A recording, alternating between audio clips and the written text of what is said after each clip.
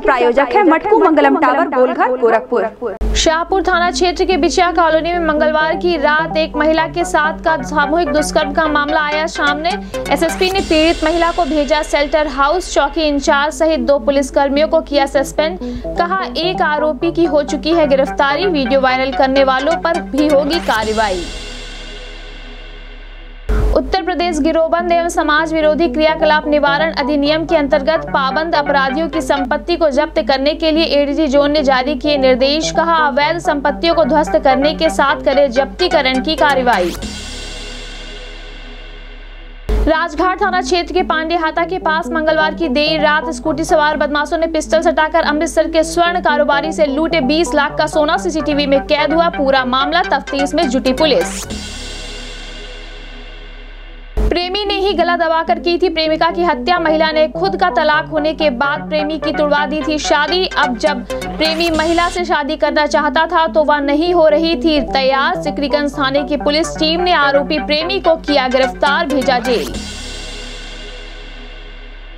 Video conferencing के माध्यम से प्रदेश के मुख्य सचिव सहित संबंधित अधिकारियों ने त्रिस्तरीय पंचायत सामान्य निर्वाचन क्षेत्र के आरक्षण पर आने वाले आपत्तियों के निस्तारण के संबंध में की चर्चा पंचायत चुनाव को सकुशल संपन्न कराने के दिए निर्देश। मंडलायुक्त की अध्यक्षता में संपन्न हुआ कृषि विभाग की मंडलीय समीक्षा बैठक, कृषि निर्यात नीति का अनुसरण और क्रियान्वयन का लिया जायजा, दिए आवश्यक दिशा निर्देश। वीडियो कॉन्फ्रेंसिंग के माध्यम से राजस्व परिषद के अध्यक्ष ने किया स्वामित्व योजना की प्रगति की समीक्षा, दी आवश्यक दिशा निर्देश।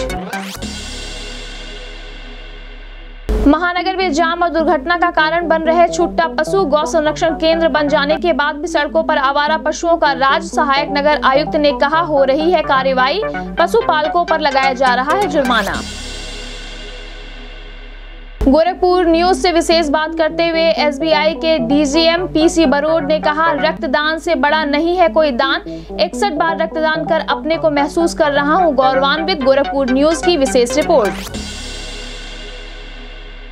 गोरखपुर ज़िले में तीसरे चरण के दूसरे चक्र में बुधवार को दिखा उत्साह 127 फ़ीसदी हुआ आम जन का कोविड टीकाकरण 400 लक्ष्य के सापेक्ष 507 लोगों ने लगवाया टीका। मिशन शक्ति कार्यक्रम के तहत आरटीओ कार्यालय पर महिलाओं हेतु विशेष ड्राइविंग लाइसेंस कैंप का किया गया आयोजन। महिला हेल्प डेस्क की की गई स्थापना। आरटीओ ने कहा, महिला हेल्प डेस्क के माध्यम से महिलाओं की समस्याओं का होगा समाधान। गोरखपुर में बुधवार को मिले दो नए कोरोना संक्रमित मरीज़। ज़िले में कोरोना संक्रमित मरीजों की संख्या हुई इक्कीस अब तक तीन कोरोना संक्रमित मरीज़ गवा चुके हैं। अपनी जान 22 रह गए एक्टिव मरीज़। सीएमओ डॉक्टर सुधाकर पांडे ने की पुष्टि। वन्य जीव जंतु दिवस पर बोलते हुए एसबीआई के डीजीएम ने कहा कि जहाँ भी रहे, लगाएँ पेड़ पौधा जीव जंतुओं को करे संरक्षित पर्यावरण पर भी दे ध्यान। एडी राजकीय कन्या इंटर कॉलेज गोरखपुर में मिशन शक्ति, नारी सुरक्षा, नारी सम्मान और नारी स्वलंबन के तहत जागरूकता कार्यक्रम का किया गया आयोजन, विभिन्न योजनाओं के प्रति किया गया जागरूक। और 7 मार्च को आयोजित होगा स्वर्गीय सदरजीत राय, स्मृति विराट, कुश्ती दंगल प्रतियोगिता शामिल होंगे जाने माने पहलवान।